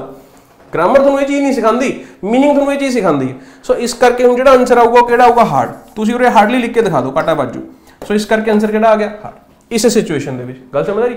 ਹਾਂ, ਜਦੋਂ ਐਨਕ ਸੈਂਟੈਂਸ ਲਿਖਿਆ, ਫਿਰ ਜੋ ਤੁਸੀਂ ਲਿਖੋਗੇ ਥੋੜੀ ਸਿਚੁਏਸ਼ਨ ਬਣ ਜੂ। So this is called learning basics ਜਦੋਂ ਇੰਨੀ ਗੱਲ ਸਮਝ ਆ ਗਈ, ਤਾਂ ਇਹ ਥੋੜੇ ਹੈਗੇ ਨੇ ਮੋਡਰੇਟ ਲੈਵਲ ਦੇ ਕੁਐਸਚਨ ਮੈਂ ਤੁਹਾਨੂੰ ਆਈਡੀਆ ਦੇ ਰਿਹਾ ਵੀ ਮੋਡਰੇਟ ਲੈਵਲ ਦੇ ਕੁਐਸਚਨ ਕਿਹੋ ਜਿਹੇ ਹੁੰਦੇ ਨੇ, ਕਿਉਂਕਿ ਪੀ ਟ੍ਰਿਪਲ ਵੀ ਲੈਵਲ ਹੈ, ਠੀਕ ਹੈ? ਤਾਂ ਇਹ ਮੋਡਰੇਟ ਲੈਵਲ ਹੈ ਜੀ। ਆਹ ਸੈਂਟੈਂਸ ਲਿਖਿਆ ਹੋਇਆ, ਇਹ ਵੀ ਮੋਡਰੇਟ ਲੈਵਲ ਹੈ ਜੀ। ਠੀਕ ਹੈ। ਉਦੋਂ ਬਾਅਦ ਚ ਫਿਰ ਇੱਕ ਕਾ ਸੈਂਟੈਂਸ ਲਿਖਿਆ ਹੋਇਆ ਹੈ। ਇਹ ਵੀ ਬਹੁਤ ਅੱਛਾ ਕੁਐਸਚਨ ਹੈ। ਪੀ ਟ੍ਰਿਪਲ ਵੀ ਦਾ ਫੇਵਰਿਟ ਰਿਹਾ ਹੈ ਕੁਐਸਚਨ ਪੁੱਛਣਾ, ਠੀਕ ਹੈ। ਇਹ ਵੀ ਮੋਡਰੇਟ ਲੈਵਲ ਹੈ। ਇਹ ਪੀ ਟ੍ਰਿਪਲ ਵੀ ਰੈਲੇਵੈਂਟ ਕੁਐਸਚਨ ਨੇ ਸਾਰੇ। ਆਹ ਕੁਐਸਚਨ ਜਿਹੜਾ ਹੈਗਾ ਹਾਈ ਲੈਵਲ ਕੁਐਸਚਨ ਹੈ। ਅੱਛੇ ਲੈਵਲ ਦਾ ਕੁਐਸਚਨ ਹੈ, ਜੋ 70% ਸਟੂਡੈਂਟਸ ਦਾ ਦਿਮਾਗ ਹੀ ਖਰਾਬ ਹੋ ਜਾਂਦਾ ਹੈ ਕਿ ਇਹ ਕੁਐਸਚਨ ਕਿਵੇਂ ਬਣਿਆ, ਤਾਂ ਕਿਉਂ ਬਣਿਆ। ਉਹ ਕੁਐਸਚਨ ਪਾਉਣ ਵਾਲੇ ਨੂੰ ਕਹਿੰਦੇ ਨੇ ਵੀ ਇਹ ਕੁਐਸਚਨ ਗਲਤ ਹੈ, ਠੀਕ ਹੈ। ਕਿਉਂਕਿ ਆਪਾਂ ਜਦੋਂ ਚੀਜ਼ ਨਹੀਂ ਪੜ੍ਹੀ ਹੁੰਦੀ ਤਾਂ ਆਪਾਂ ਨੂੰ ਲੱਗਦਾ ਵੀ ਉਹ ਚੀਜ਼ ਐਗਜ਼ਿਸਟ ਨਹੀਂ ਕਰਦੀ, ਠੀਕ ਹੈ? ਤਾਂ ਦੂਸਰੀ ਅਰਥ ਐਗਜ਼ਿਸਟ ਕਰਦੀ ਹੈ ਕਿ ਨਹੀਂ ਕਰਦੀ, ਆਪਾਂ ਨੂੰ ਨਹੀਂ ਪਤਾ ਕਿਉਂਕਿ ਕੁਝ ਲੋਕ ਕਹਿੰਦੇ ਨਹੀਂ ਕਰਦੀ, ਕੀ ਪਤਾ ਕਰਦੀ ਹੋਵੇ, ਆਪਾਂ ਤੱਕ ਪਹੁੰਚੇ ਨਹੀਂ ਹੈਗੇ ਅਜੇ ਤੱਕ। ਤਾਂ ਉਸ ਲੈਵਲ ਦੇ ਕੁਐਸਚਨ ਨੇ, ਜੋ ਮੈਂ ਤੁਹਾਨੂੰ ਪੜਾਉਂਗਾ ਜੋ ਮੈਂ ਤੁਹਾਨੂੰ ਸਿਖਾਣਾ ਜਾਂ ਫਿਰ ਜੋ ਮੈਂ ਮੰਜ਼ਿਲ ਬੈਚ ਦੇ ਸਿਖਾਣਾ ਉਹ ਮੈਂ ਜ਼ੀਰੋ ਤੋਂ ਸ਼ੁਰੂ ਕਰਦਾ ਅੰਡਰਸਟੈਂਡਿੰਗ ਤੇ ਕੰਮ ਕਰਦੇ ਆ ਠੀਕ ਹੈ? ਔਰ ਉਹ ਬੇਸਿਕਸ ਤੋਂ ਕੰਮ ਕਰਕੇ ਉਹ ਉਰੇ ਤੱਕ ਆਨੇ ਆ ਮੈਂ ਤੁਹਾਨੂੰ ਜਨਰਲੀ ਦੱਸ ਰਿਹਾ, ਠੀਕ ਹੈ? ਬਾਕੀ ਐਂਡ ਤੇ ਗੱਲ ਕਰਾਂਗੇ ਇਹਦੇ ਬਾਰੇ। ਉਰੇ ਤੱਕ ਆਉਣੇ ਆ ਤਾਂ ਇਹ ਲੈਵਲ ਤੱਕ ਚੱਲਦਾ ਸਾਡਾ। ਉਹ ਅੰਡਰਸਟੈਂਡਿੰਗ ਨੂੰ ਬਿਲਡ ਕਰਨ ਦੇ ਲਈ ਟਾਈਮ ਲੱਗਦਾ। ਹੁਣ ਲੈਵਲਸ ਨੂੰ ਡਿਫਾਈਨ ਕੀਤਾ ਹੈ, ਪਹਿਲਾਂ ਵੀ ਮੈਂ ਇੱਕ ਵਾਰ ਦੱਸਿਆ ਹੋਇਆ, ਮੈਂ ਦੁਬਾਰਾ ਦੱਸ ਦਿੰਦਾ ਕਿਉਂਕਿ ਅੱਜ ਮੈਂ ਤੁਹਾਨੂੰ ਇਹ ਚੀਜ਼ ਕਿਉਂ ਦੱਸ ਰਿਹਾ, ਮੈਂ ਕਾਰਨ ਕੀ ਹੈ ਦੱਸਣ ਦਾ। ਦੋਸਤੋ, ਇੱਕੋ ਹੀ ਕਾਰਨ ਹੈ। ਠੀਕ ਹੈ? ਉਹ ਕਾਰਨ ਇਹ ਹੈ ਕਿ ਹੁਣ ਤੁਸੀਂ ਦੇਖੋਗੇ, ਨਵੰਬਰ ਐਂਡ ਹੋ ਗਿਆ ਆਲਮੋਸਟ ਹੈ ਨਾ ਤਾਂ ਅਗਰ ਫੈਬਰੂਅਰੀ ਦੇ ਵਿੱਚ, ਹਨਾ ਸੈਂਟਰ ਦੇ ਇਲੈਕਸ਼ਨਸ ਹੁੰਦੇ ਨੇ, ਤਾਂ ਮੈਂ ਸਮਝਦਾ ਕਿ ਜਨਵਰੀ ਫਸਟ ਵੀਕ ਦੇ ਵਿੱਚ ਆਪਣੇ ਜਿਹੜੇ ਹੈਗੇ ਨੇ ਤੁਹਾਡੇ ਕੋਡ ਆਫ ਕੰਡਕਟ ਲੱਗ ਜਾਊਗਾ, ਠੀਕ ਹੈ? ਐਂਡ ਅਗਰ ਜਨਵਰੀ ਫਸਟ ਵੀਕ ਚ ਕੋਡ ਆਫ ਕੰਡਕਟ ਲੱਗਦਾ ਤਾਂ ਆਪਣੇ ਕੋਲੇ, ਮਤਲਬ ਪੀਟਰ ਪਲੇਸ ਵੀ ਕੋਲੇ ਹਾਰਡਲੀ ਦਸੰਬਰ ਬਚਿਆ ਸਾਰਾ, ਠੀਕ ਹੈ? ਤਾਂ ਉਹ ਮੈਂ ਨਹੀਂ ਸਮਝਦਾ ਕਿ ਉਹ ਸਵਾ ਮਹੀਨੇ ਦੇ ਵਿੱਚ ਪੇਪਰ ਵੀ ਲੈ ਲੂਗੀ, ਠੀਕ ਹੈ? ਤਾਂ ਸਿਲੇਬਸ ਉਹਨੇ ਅੱਜ ਦਿੱਤਾ ਤਾਂ ਸਵਾ ਮਹੀਨੇ ਚ ਪੇਪਰ ਲੈਣਾ ਬਹੁਤ ਘੱਟ ਚਾਂਸਸ ਨੇ ਹੈਨਾ ਅਗਰ ਦਸੰਬਰ 'ਚ ਪੇਪਰ ਨਹੀਂ ਹੁੰਦਾ ਤਾਂ ਜਨਵਰੀ 'ਚ ਨਹੀਂ ਹੋ ਸਕਦਾ, ਫਿਰ ਫੈਬਰੂਅਰੀ 'ਚ ਵੀ ਨਹੀਂ ਹੋ ਸਕਦਾ। ਫਿਰ ਕਿੱਥੇ ਕੋਈ ਗੱਲ? ਮਾਰਚ ਦੇ ਵਿੱਚ। ਤਾਂ we are being positive here and we consider ਕਿ P triple S we will take this exam in March ਹੈ ਨਾ? ਹੁਣ ਤੁਸੀਂ ਦੇਖੋਗੇ ਤੁਹਾਡੇ ਕੋਲੇ, ਹੈ ਨਾ, ਨਵੰਬਰ ਦੇ 10 12 ਦਿਨ, ਦਸੰਬਰ ਜਨਵਰੀ, ਫੈਬਰੂਅਰੀ, ਠੀਕ ਹੈ? ਤੇ ਮਾਰਚ ਦਾ ਕੁਝ ਟਾਈਮ ਠੀਕ ਹੈ? ਤਾਂ ਤਿੰਨ ਤਿੰਨ ਤੋਂ 4 ਮਹੀਨੇ ਮੰਨ ਕੇ ਚੱਲਦੇ ਆ ਤਿੰਨ ਤੋਂ 4 ਮਹੀਨੇ ਪਏ ਨੇ। ਤਾਂ ਤਿੰਨ ਤੋਂ 4 ਮਹੀਨਿਆਂ ਦੇ ਵਿੱਚ ਅਗਰ ਤੁਸੀਂ ਉਰੇ ਵੀ ਹੋ ਨਾ, ਤਾਂ ਤੁਸੀਂ ਉਰੇ ਪਹੁੰਚ ਸਕਦੇ ਹੋ ਮੇਰੀ ਗਾਰੰਟੀ ਹੈ। ਲੇਕਿਨ ਜਿਵੇਂ ਮੈਂ ਤੁਹਾਨੂੰ ਦੱਸੂਗਾ, ਜੋ ਮੈਂ ਤੁਹਾਨੂੰ ਦੱਸੂਗਾ, ਉਹ ਕਰਨਾ ਪੈਣਾ ਜੀ, ਠੀਕ ਹੈ? ਹੁਣ ਆਜੋ ਫਟਾਫਟ। ਸਭ ਤੋਂ ਪਹਿਲਾ ਲੈਵਲ ਕੀ ਹੈ ਕਿ zero level don't know anything ਹੈ ਨਾ? ਉਹ ਮੈਂ ਤੁਹਾਨੂੰ ਬੇਸਿਕ ਦਿਖਾਤਾ ਕਿ ਤੁਹਾਨੂੰ ਬੇਸਿਕ ਆਉਂਦੇ ਨੇ ਜਾਂ ਨਹੀਂ ਆਉਂਦੇ, ਠੀਕ ਹੈ? ਉਹੀ ਐਕਚੁਅਲ ਚ ਬੇਸਿਕਸ ਨੇ, ਅਗਰ ਤੁਹਾਨੂੰ ਕਹੋਗੇ, ਤੁਸੀਂ ਕਹੋਗੇ, ਮੈਨੂੰ ਨਾਉਨ ਦੀ ਡੈਫੀਨੇਸ਼ਨ ਆਉਂਦੀ ਹੈ। ਮੈਨੂੰ ਇਹ ਪਤਾ ਕਿ ਜਿਹੜਾ ਕੈਟਲ ਸ਼ਬਦ ਹੈ, ਉਹ ਪਲੂਰਲ ਹੁੰਦਾ, ਉਹ ਬੇਸਿਕਸ ਨਹੀਂ ਹੈਗੇ, ਬੱਚੇ, ਰੱਟੇ ਲਾਏ ਹੋਏ ਨੇ, ਠੀਕ ਹੈ? ਉਹ ਕੁਝ ਚੀਜ਼ਾਂ ਆਪਾਂ ਨੂੰ ਪਤਾ ਨਹੀਂ ਪਤਾ ਲੇਕਿਨ ਉਹ basics we do not call them basics basics ਦਾ ਮਤਲਬ ਕੀ ਹੈ? ਸੈਂਟੈਂਸ ਦੀ ਪਾਸਿੰਗ ਆਉਂਦੀ ਹੈ ਕਿ ਨਹੀਂ ਆਉਂਦੀ, ਠੀਕ ਹੈ? ਹੁਣ ਜਦੋਂ ਬੇਸਿਕਸ ਤੇ ਕੰਮ ਕਰਨਾ ਸਭ ਤੋਂ ਪਹਿਲਾਂ। ਬੇਸਿਕਸ ਤੇ ਕੀ ਕੰਮ ਕਰਨਾ ਮੈਂ ਤੁਹਾਨੂੰ ਦੱਸ ਚੁੱਕੇ ਆ ਠੀਕ ਹੈ? ਉਹ ਚੀਜ਼ ਨੂੰ ਪੜਨਾ ਹੈ ਕਿ ਡੈਫੀਨੇਸ਼ਨਸ ਤੇ ਕੰਮ ਕਰਨਾ ਹੈ ਕਿ ਇਸ ਸੈਂਟੈਂਸ ਦੇ ਵਿੱਚ ਨਾਉਨ ਫਾਈਂਡ ਆਊਟ ਕਰਨਾ ਕਿ ਤੁਹਾਨੂੰ ਨਾਉਨ ਫਾਈਂਡ ਆਊਟ ਕਰਨਾ ਹੁੰਦਾ ਹੈ ਪ੍ਰੋਨਾਉਨ ਫਾਈਂਡ ਆਊਟ ਕਰਨਾ ਹੁੰਦਾ ਹੈ, ਕਿ ਤੁਹਾਨੂੰ ਪਤਾ ਕਿ ਲਿੰਕਿੰਗ ਵਰਬ ਕੀ ਹੁੰਦੀ ਹੈ, ਕਿ ਟ੍ਰਾਂਸਟਿਵ ਵਰਬ ਕੀ ਹੁੰਦੀ ਹੈ ਟ੍ਰਾਂਸਟਿਵ ਵਰਬ ਦੇ ਵੀ ਆਬਜੈਕਟਸ ਹੁੰਦੇ ਨੇ। ਕਿ ਤੁਹਾਨੂੰ ਇਹ ਚੀਜ਼ ਪਤਾ ਡਾਇਰੈਕਟ ਆਬਜੈਕਟ ਹੁੰਦਾ ਹੈ ਇਨਡਾਇਰੈਕਟ ਆਬਜੈਕਟ ਹੁੰਦਾ ਹੈ ਰਿਲੇਟਿਵ ਪ੍ਰੋਨਾਉਨ ਕੀ ਹੁੰਦਾ ਹੈ ਐਡਜੈਕਟਿਵ ਕਲੌਜ਼ ਕੀ ਹੁੰਦਾ ਹੈ ਐਡਵਰਬ ਕਲੌਜ਼ ਕੀ ਹੁੰਦੀ ਹੈ। ਇਹ ਬੇਸਿਕਸ ਤੁਹਾਨੂੰ ਕਲੀਅਰ ਹੋਣੇ ਚਾਹੀਦੇ ਨੇ ਕਿ ਕੋਈ ਕਲੌਜ਼ ਵੀ ਸੈਂਟੈਂਸ ਦੇ ਵਿੱਚ ਲਿਖੀ ਜਾ ਸਕਦੀ ਹੈ। ਕਲੌਜ਼ ਕਿਉਂ ਲਿਖਦੇ ਆ? ਫਰੇਜ਼ ਕਿਉਂ ਲਿਖਦੇ ਆ? ਕਲੌਜ਼ ਦਾ ਕੀ ਕੰਮ ਹੈ? ਕੰਪਾਊਂਡ ਸੈਂਟੈਂਸ ਕੀ ਹੁੰਦਾ? ਕੰਪਲੈਕਸ ਸੈਂਟੈਂਸ ਕੀ ਹੁੰਦਾ? ਠੀਕ ਹੈ? So these are the basics that you should know ਠੀਕ ਹੈ?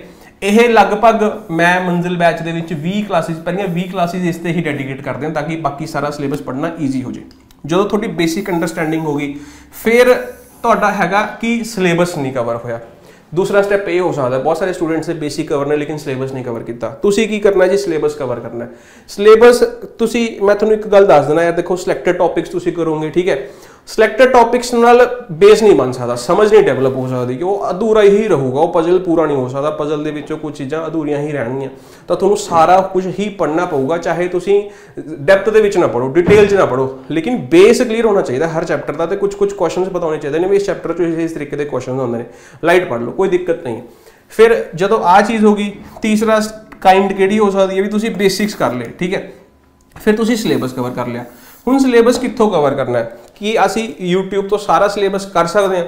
ਤੁਸੀਂ YouTube ਤੋਂ ਸਾਰਾ ਸਿਲੇਬਸ ਕਰ ਸਕਦੇ ਹੋ। ਮੈਨੂੰ ਨਹੀਂ ਲੱਗਦਾ ਕਿ ਪੰਜਾਬ ਦੇ ਕਿਸੇ ਚੈਨਲ ਨੇ ਇੰਨਾ ਪੜਾਇਆ ਹੋਊਗਾ ਕਿ ਸਾਰਾ ਸਿਲੇਬਸ YouTube ਤੇ ਕਰਾਇਆ ਹੋਊਗਾ, ਠੀਕ ਹੈ? ਉਹਦੇ ਲਈ ਤੁਹਾਨੂੰ ਜਾਣਾ ਪਊਗਾ ਐਸਐਸਸੀ ਦੇ ਟੀਚਰਸ ਜਾਂ ਬੈਂਕਿੰਗ ਦੇ ਟੀਚਰਸ ਲਈ ਕੋਲ ਜਾਣਾ ਪਊਗਾ, ਠੀਕ ਹੈ? ਹੁਣ ਉਹ ਕਿਸ ਲੈਵਲ ਦਾ ਕਰਾਉਂਦੇ ਨੇ, ਕਿੱਥੇ ਤੱਕ ਕਰਾਉਂਦੇ ਨੇ, ਪੰਜਾਬ ਦੇ ਲਈ ਰੈਲੇਵੈਂਟ ਹੈਗਾ ਜਾਂ ਨਹੀਂ ਹੈਗਾ?